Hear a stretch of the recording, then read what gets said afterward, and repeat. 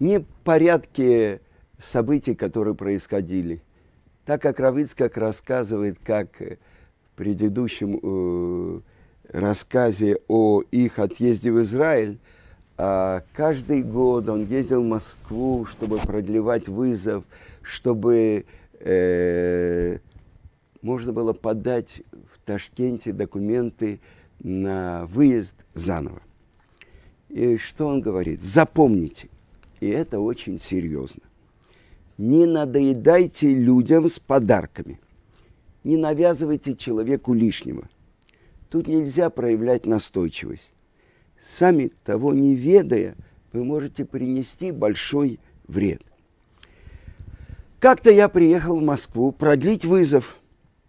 После очередного отказа он устарел и уже собирался возвращаться. А родственницы хозяйки дома, где я ночевал, очень заботливая женщина, говорит, тебе за покупками бегать некогда, а я по случаю купила апельсины. Ну, в Советском Союзе это все был дефицит, а тем более э, апельсины. В Ташкенте апельсинов глаза не видели. Возьми домой килограмм. Я отказываюсь, а она уговаривает. Ну не надо. Ну нет, возьми. У меня сумка битком набита книгами. Ничего, возьми прямо с сеткой. Ну, я поехал на вокзал. Стою к кассе за билетом. Подходит моя очередь, и мне становится дурно. Сетка с апельсинами у меня в руках, а сумка с паспортом, бумагами из военкомата, деньгами и документами на подачи на вызов – исчезла. Там еще были тфилин, который я получил от работайца, очень хороший. И у меня даже копейки денег нет. И даже московского адреса, где я пробыл день, я тоже не помню. Но самое страшное, что в сумке лежала моя черновая рукопись книги «Пламя не спалит тебя». Книга, которая посвящена была о том, как реализовались пророчества. То, что сказано было у пророков, Равицкак проследил и записал, как все эти пророчества сбылись. Если ее найдут, эту рукопись, меня начнут обвинять в сионизме, может быть, новая посадка, какими-то мучительными окольными путями по телефону – я нашел знакомых, одолжил денег и уехал. Пришлось скрывать от жены, что произошло. Она бы не выдержала, если бы узнала. Гита все время спрашивала, где твой паспорт? А я выкручивался, сунул куда-то, туда, сюда. Потом это у меня стоило больших трудов восстановить паспорт и все остальные документы – перед отъездом все старались сделать для нас что-то хорошее.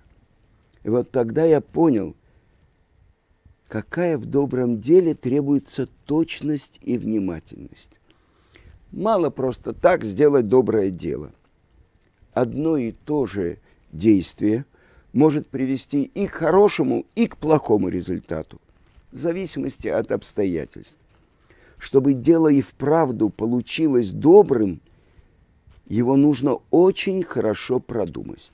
Для ясности приведу пример. Классический.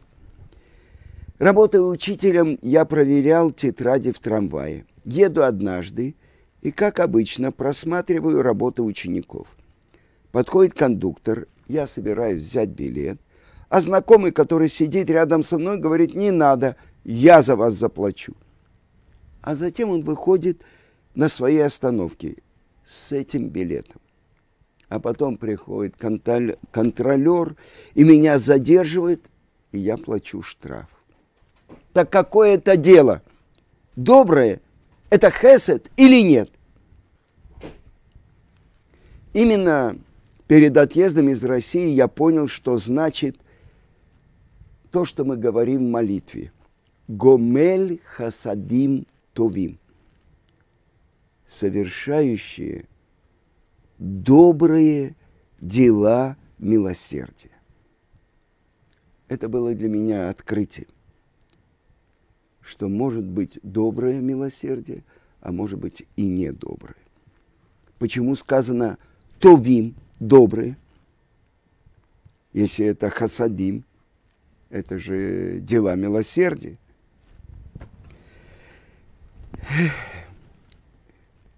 Каждый человек учится на своем. В Израиль мы улетали из Москвы. Я купил кусок кошерного мяса, а сварить негде. А субботу нам всей семьей предстояло провести в Малаховке под Москвой. Утром пятницу я помолился на Архипова в синагоге и думаю, сварил бы кто-то для нас мясо. Было бы хесед увидел знакомого и попросил, он согласился. Но я в субботу уезжаю в Малаховку. Он говорит, все нормально, успеешь. Часов 11-12, прямо из синагоги, посылаю сына за сваренным мясом к нему, в Перловку, тоже под Москвой, но в другой стороне. Решено, что мы едем в Малаховку немедленно, а сын в Энцион попозже. И вот мы сидим в Малаховке, ждем – Приближается суббота, а бенциона нет. Время зажигать субботние свечи, а бенциона нет. Что с ним? Он ведь без документов. Вдруг задержала его милиция. Мы чуть с ума не сошли. Уже в сумерках попросили маленькую дочку позвонить родственнице в Москве и узнали, что все в порядке. Бенцион там – а получилось так, что человек мою просьбу выполнил, мясо сварил, но не вспомнил, что Бенцион не москвич, и не предупредил его, что каждая поездка по Москве и окрестностям требует большого времени, а солнце скоро зайдет. Если бы он предусмотрел ситуацию, то его милосердное дело могло бы быть хорошим, хесетов – а так столько нервов, столько владений. И вышло, что это хесед, летов, нехороший. И как это происходило, рассказывает Рав Бенцион Зильбер. Я не торопился, пошел в Микву, пообщ, э, пообщался э, с знатоками Торы, поехал в Перловку, вернулся, стою на вокзале, а электричка на Малаковку только что отошла. Посмотрел, когда следующая, и понял, что к субботе не успею. Тогда я отправился к нашей родственнице Берте Владимировне. Берта Владимировна Аронова приходилась внучкой Ребе из Режицы. Она жила одна. Как же этот район назывался – известный такой адрес. А, вспомнил, Пет, Петровка. Петровка 38, это все знают. Там московский угрозыск. Это вставка ре, редактор. Берта Владимировна жила на Петровке, и э, у нее всегда останавливалась Сара, моя старшая сестра, когда бывала в Москве. И отец, когда приезжал с мамой, он тоже у нее останавливался. И папа со мной и с Сарой, когда мы на неделю приезжали в Москву, чтобы повидаться с Равом Тайцем. Э, кроме одной супружеской пары, все остальные соседи Берты Владимировны по лестничной площадке тоже были одинокие женщины. Так что по еврейскому закону ночевать я мог только у этих супругов. К ним я и попросился. Но Берти я ничего не объяснил. Для нее такие вещи уже не существовали. Это называется ехуд. Неважно, сколько лет женщине, еврей, соблюдающий еврей, не может быть с ней в закрытом помещении. вечернюю трапезу я сделал кидуш на хлеб. Только потом я вспомнил, что свечи я не зажег. Как же теперь быть? Ну ничего, ведь мама зажгла, значит, я вышел через маму.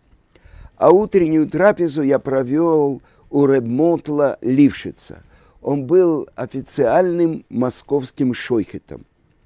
Он увидел меня в синагоге и пригласил. А Равмотл Лившиц – это отдельная история. Он называл себя счастливчиком. В 1939 году в Киеве его посадили, когда выследили тайную Ешиву в Киеве. И дали ему тогда детский срок, три года. И он попал на лесоповал в Красноярский край.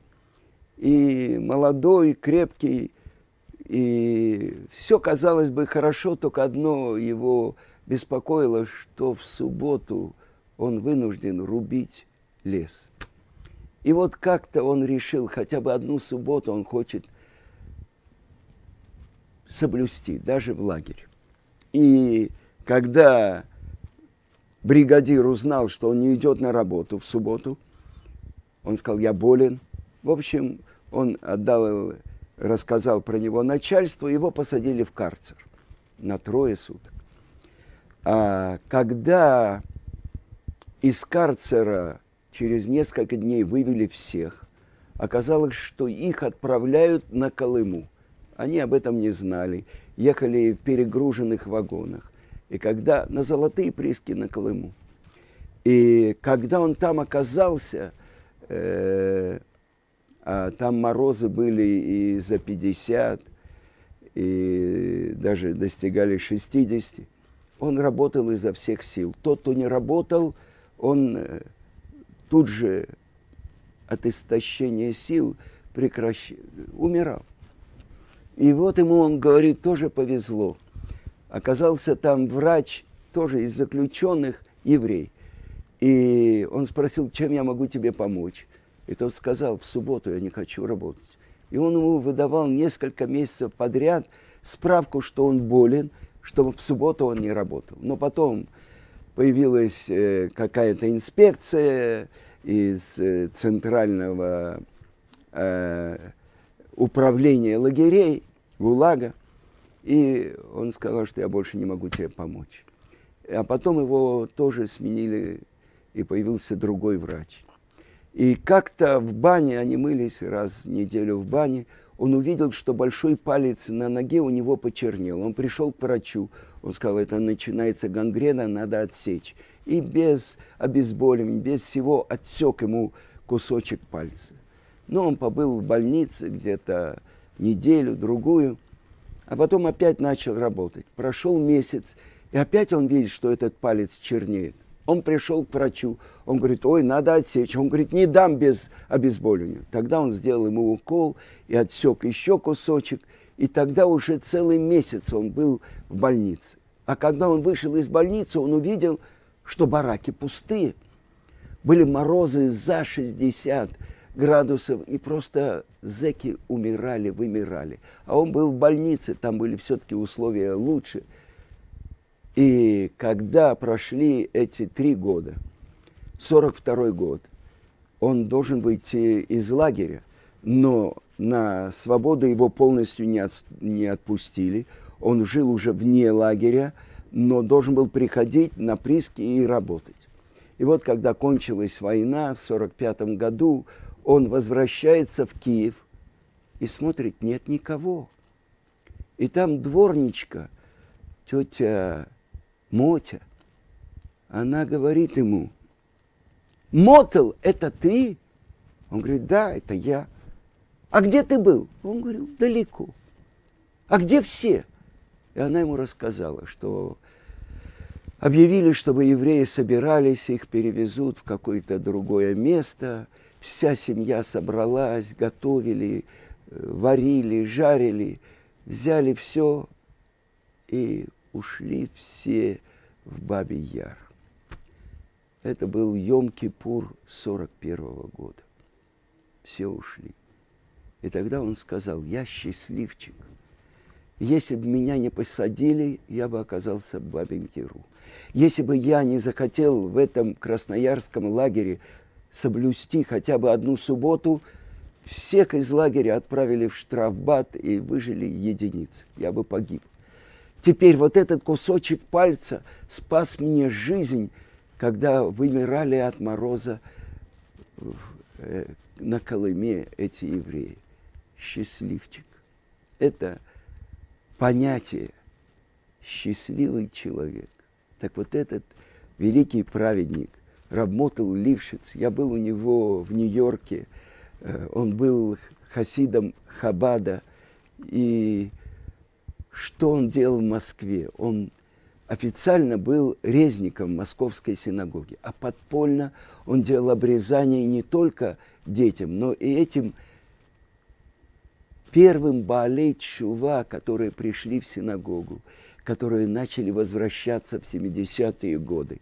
Его вызывали к э, проверенному товарищу, к руководителю общины, он говорил, почему ты не обращаешься ко мне, делать обрезание или нет.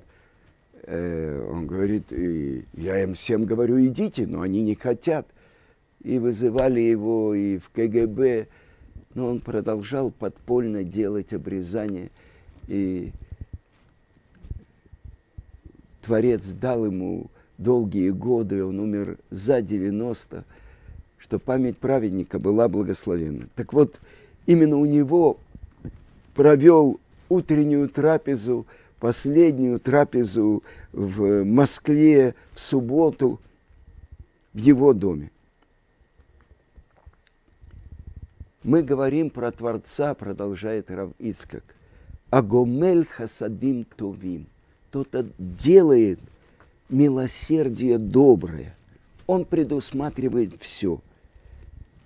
И Рав Ицкак говорит, я недавно сломал руку – да еще в четырех местах. Упал на лестнице. И врачи сомневались, что она нормально срастется. Однако, пожалуйста, еще гипс не снят, а я уже ей двигаю. И Равыцкак показывает. И это называется безупречный хесед. А сейчас Равыцкак рассказывает, какая у него была возможность оставить Советский Союз. В 1946 году была такая возможность, евреи уезжали через Польшу. А я подумал, что, наверное, я должен остаться в Советском Союзе. Такое же положение в семье сложилось, что если было ясно, что надо уезжать, я бы уехал. Но я боялся, что новое поколение евреев в Советском Союзе, лишенное раввинов, учителей, совсем забудет о своих корнях. Я решил рассказать на русском языке о том, что это такое еврейский образ мысли. И так как первый вариант моей книги «Пламени спали тебя» пропал, пришлось мне писать ее заново. Я написал второй раз, и опять ее украли. Закончив работу над рукописью, я нашел одну праведную женщину, отчаянную машинистку, которая взялась отпечатать текст, и которой я не боялся. Хотя моя жена очень тревожилась. Но получив разрешение на отъезд, я все-таки решил, что должен напечатать 10 экземпляров. Часть оставить в Москве, а часть взять с собой. И передал э, мою рукопись москвичу Виктору Польскому. Это один из э, отказников, который занимался еврейской культурой вместе с Феликсом Кандели. И передал еще нескольким людям – Весь день накануне нашего отъезда в Израиль к нам приходили люди прощаться. Самолет уходил утром. В час ночи, когда все разошлись, я пересчитал экземпляры. Вместе с розданными получилось девять, а куда делся десятый? Столько людей приходило прощаться. Не исключено, что среди них был и доносчик. Если с документами Бенциона, тот фокус, что перепутали цифры не там написали, не прошел, теперь будет другая причина. Я уже вижу в своем воображении, как мы садимся в самолет, я, жена, дети, и тут входят люди в штатском и говорят, Зильбер здесь? Выходи. Я искал этот экземпляр всю ночь и не нашел. Пришлось мне и остальные копии уничтожить. Так я и уехал с одними письменными заметками. Оказалось, что в тот вечер кто-то из молодых гостей, увидев рукопись, дай, думает, возьму одну. Не спросил, не предупредил. А потом, уже в Израиле, когда мы встретились, он рассказал с легким сердцем, как о пустяке. Что тут такого? А я столько переживал. Уничтожил все оставшиеся экземпляры. Вот что происходит, когда нарушает святые слова Талмуда. А в Талмуде сказано, тот, кто пользуется без разрешения, он грабитель. Взятое без разрешения не считается одолженным все то время, что человек пользуется без разрешения, без спроса, это называется, что он украл. Приехав в Израиль, я записал заново всю книгу. Годы шли, лет десять, а мне все некогда просмотреть рукопись и окончательно ее отредактировать.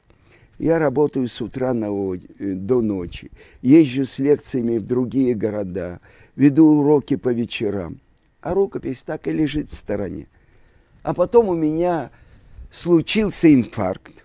После выписки из больницы родные отвезли меня не домой. Я жил на втором этаже, а на квартиру со входом с улицы. По лестнице мне после инфаркта было не подняться. Зато у меня появилось время просмотреть рукопись. Так была напечатана в Израиле эта книга «Пламени спалит тебя» благодаря моему инфаркту. Кстати, недавно я послал эту книгу сыну профессора Чеботарева и получил ответ. А профессор Чеботарев, у него учился Равицкак, и он делал научную работу по высшей алгебре. И, и я получил ответ от сына. Книга мне очень понравилась я не только сам прочел ее, но прочли мои родные и многие друзья, евреи и неевреи, тронут вашими теплыми словами, которые вы нашли, вспоминая о моем отце. А я скажу, что эту книгу Равицкака я, когда начал приезжать э, с 1984 -го года э, в Советский Союз, я работал в Вильнюсе, Э, там э, нужно было давать уроки в первом еврейском детском саду, в, э, проводить субботу, давать уроки в синагоге, в воскресной школе. И останавливаясь в Москве, я тоже эту книгу дарил разным людям. И я рассказал Равицкаку Зильберу, что я подарил ее известной советской поэтессе, еврейке Маргарите Алигер. И Равицкак очень обрадовался. Он говорит, и он сказал своей жене, Гита, Гита, это та, которая написала стихи. Кто же мы такие? Мы евреи. Как ты смела это позабыть, когда можно было во время войны писать такие слова – она это написала, и она прочитала эту книгу и тоже была довольна. Итак, последний шаббат в Советском Союзе. Последнюю субботу мне не забыть. Мы провели ее в Малаковской синагоге. Там собралось несколько евреев. В этот раз не я разбирал с людьми недельную главу, а моя дочка Хавочка. Ей было десять с половиной лет, чуть больше. За столом сидели семь-восемь взрослых, а она читала хумаш, объясняла и переводила. И все правильно. Мне не пришлось даже ее поправлять. Знаете, как на них это подействовало? Это было в феврале 72 года. А в воскресенье мы улетели. На прощание московские таможенники пожелали нам счастливого пути и удачи.